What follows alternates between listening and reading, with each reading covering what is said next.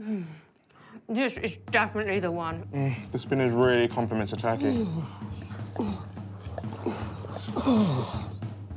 I think we're ready. At Butternut Box, we believe dogs deserve better. So we're all about serving them tasty, healthy food.